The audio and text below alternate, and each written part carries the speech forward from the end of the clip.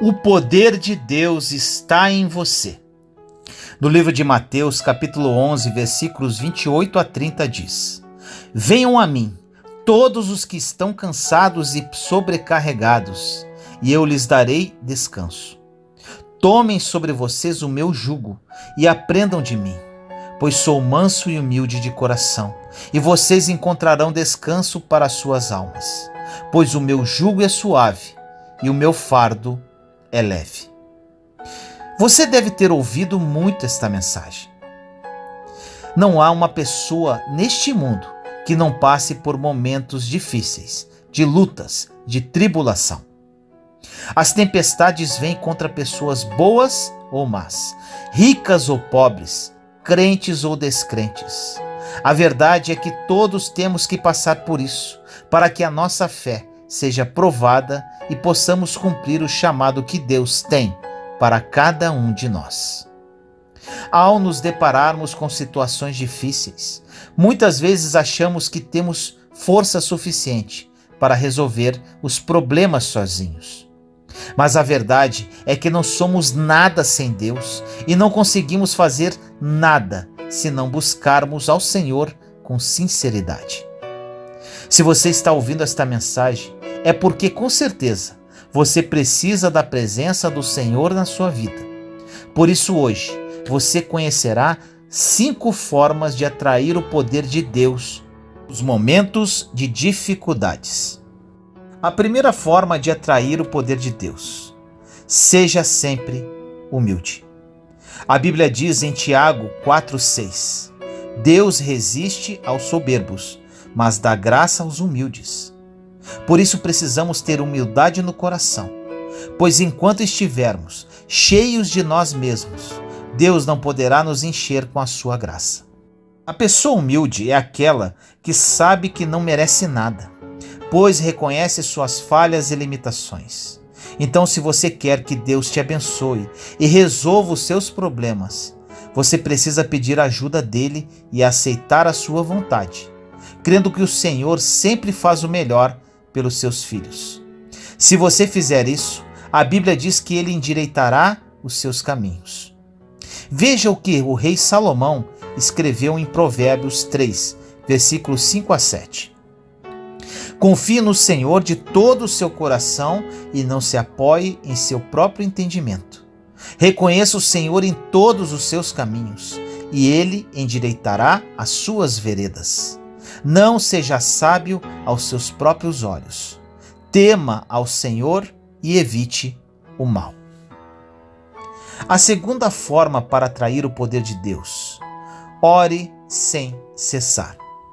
A Bíblia diz que a oração do justo é poderosa e eficaz, e é uma das principais armas de todos que creem em Jesus como seu Senhor e Salvador. E para atrair o poder de Deus, você precisa que ele esteja por perto, no seu pensamento e no seu coração.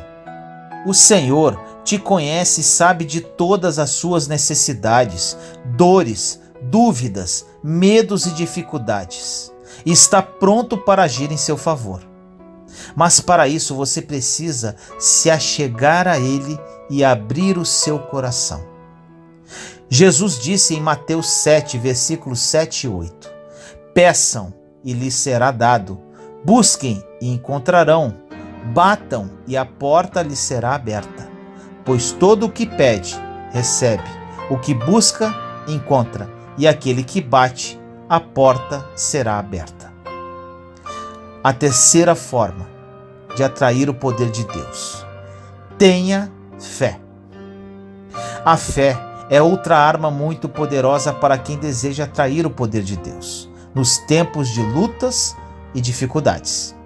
A fé torna o cristão mais forte e o capacita a suportar as tempestades que surgem em sua vida, fazendo com que ele permaneça firme nas promessas de Deus. Nem sempre entendemos os motivos pelos quais Deus nos permite passar por momentos difíceis em nossas vidas. Mas Jesus nos garante que se tivermos fé e não duvidarmos, poderemos ver o impossível acontecer diante dos nossos olhos. Veja o que Cristo disse em Mateus 21, versículos 21 e 22. Eu lhes asseguro que, se vocês tiverem fé e não duvidarem, poderão fazer não somente o que foi feito à figueira, mas também dizer a este monte: Levante-se e atire-se no mar, e assim será feito. E tudo o que pedirem oração, se crerem, vocês receberão. A quarta forma para atrair o poder de Deus para a sua vida. Tenha paciência. A fé abre a porta para Deus entrar, mas é a paciência que mantém essa porta aberta até que as promessas dele se cumpram. Isso porque a paciência nos ajuda a suportar as provações e a entender os propósitos do Senhor para as nossas vidas.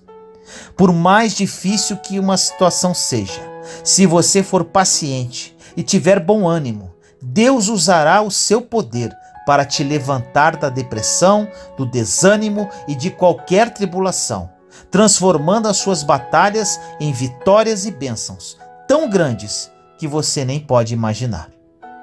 O rei Davi sabia muito bem disso, por isso escreveu no Salmo 37, versículos de 7 a 9: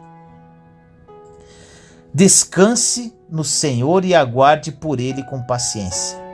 Não se aborreça com o sucesso dos outros, nem com aqueles que maquinam o mal. Evite a ira e rejeite a fúria. Não se irrite, isso só leva ao mal, pois os maus serão eliminados, mas os que esperam no Senhor receberão a terra por herança. Que palavra poderosa! A quinta forma para atrair o poder de Deus na sua vida: gratidão. Pode parecer estranho ser grato a Deus diante de uma situação difícil, de um problema muito grande, de uma luta que parece não ter fim. Mas é exatamente isso que o Senhor espera de nós, para liberar o seu poder e nos fazer vencer essa tempestade. Ter gratidão não é ignorar os problemas e fugir da realidade, mas sim ter uma atitude positiva, reconhecendo a bondade e a misericórdia de Deus em nossas vidas apesar das circunstâncias. Ser grato não irá mudar a sua situação, mas mudará o modo como você a enxerga. E você deve estar se perguntando: mas por que tem que ser assim, Vinícius? Por que preciso agradecer a Deus por algo que eu não queria que tivesse acontecendo em minha vida? Na verdade, você não tem que agradecer porque o seu carro estragou você está endividado ou por causa de uma doença, por exemplo. Mas apesar de tudo isso, você pode dar graças porque Deus tem te sustentado e você confia que Ele fará tudo para cooperar para o seu bem.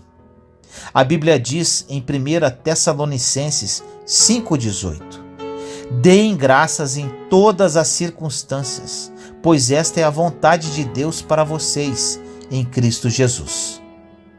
Por isso, meu irmão e minha irmã, creia que o poder de Deus está disponível para agir em sua vida.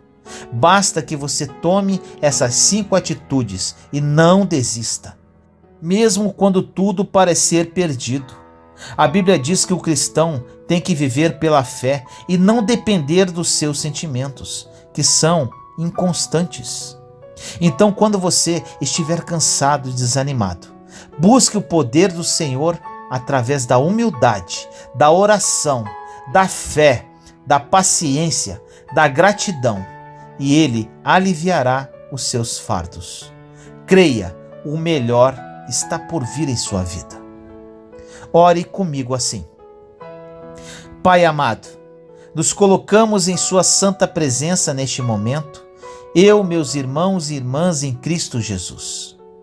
Senhor querido, Somos muito gratos a Ti. Obrigado pelo seu zelo e amor, apesar de nossos erros. Hoje, Pai, pedimos a Ti que venha ao nosso encontro. Sabemos que temos o poder em cada um de nós, no nome do Seu Filho amado Jesus. Dê-nos um coração humilde, mais parecido com o de Cristo. O buscaremos através da oração incansável, da fé aguardaremos com paciência e seremos gratos para que essa autoridade e força faça parte da nossa vida. Buscamos isso, Senhor, tão somente para honrar e glorificar o seu santo nome e representá-lo de forma efetiva neste mundo caído. Assim nós oramos, em nome do nosso Senhor Jesus Cristo. Amém.